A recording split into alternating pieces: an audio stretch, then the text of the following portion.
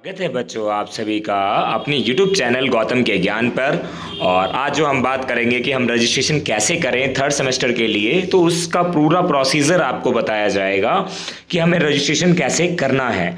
Step by step आपको पूरी जानकारी दी जाएगी। सबसे पहले बच्चों आपको क्या करना होगा तो जितने बच्चे फ़र्स्ट ईयर से सेकेंड ईयर में आए हैं और उनका मोस्ट वेलकम है, यदि आप सभी इस वीडियो चैनल से पहली बार जुड़े हैं तो सब्सक्राइब ज़रूर करें।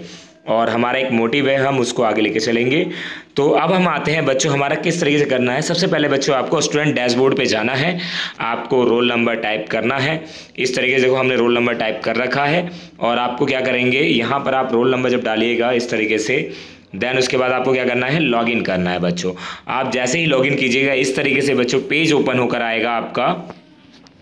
तो आपको क्या करना है? सबसे नीचे ड्रैग करके जाना है और यहाँ पे एक ऑप्शन आ रहा है। आपका, आपको यहाँ पे क्लिक करना है, ठीक है ना? Online examination form four semester third semester के लिए under graduate two thousand twenty और ट्वेंटी वन के लिए। तो आपको क्या करना है? यहाँ पे क्लिक करेंगे हम। तो ये पेज हमारा इस तरीके से ओपन होकर आएगा और ओपन होने के बाद बच्चों, आपको क्या करना है? यहाँ पर हमें रोल नंबर डालना है, जो कि हमें जो रोल नंबर पता है, ठीक है ना? तो वो हम रोल नंबर डालेंगे।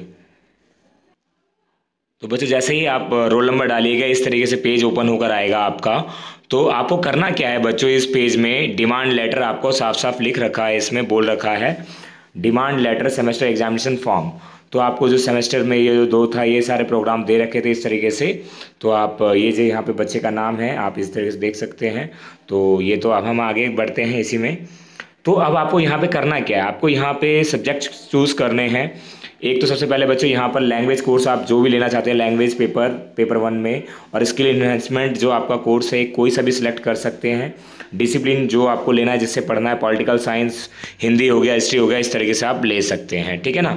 तो चारों सब्जेक्ट के लिए आपके पास ऑप्शंस हैं, और यदि आप इसमें से अगर कुछ भी पुटअप करेंगे तो वो आपको खुद ही मिल जाएगा। वन टू इम्प्रूवमेंट अगर यहाँ पर एक ऑप्शन और दिया गया बच्चों, यदि आप इस पेपर में इम्प्रूवमेंट देना चाहते हैं, यदि जिस बच्चे के पेपर में बैक है, कम नंबर है, यदि देना चाहते हैं तो वो दे सकते हैं। ठीक है ना बच्चों? तो आपने देखा इस तरीके से ये जो लैंग्वेज कोर्स था और ये इसके लिए इन्हेंसमेंट का था, बाकी दो डिसिप्लिन कोर्स थे, ठीक है ना? तो इस तरीके से आपको बच्चों यहाँ भी फॉर्म फिलअप करना है, ठीक है ना? तो सभी बच्चों को आशा करता हूँ कि सभी बच्चों को ये वीडियो समझ में आई होगी और हमें किस तरीके से हमें फिल करना है फॉर्म वो पूरी मददगार रही होगी बच्चों के लिए।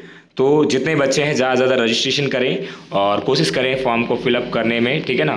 तो यदि ये वीडियो आप सभी को पसंद आए तो लाइक शेयर कमेंट ज़रूर करें बच्चों और बेल आइकन को दबाना ना भूलें। थैंक यू सो मच बच्चों।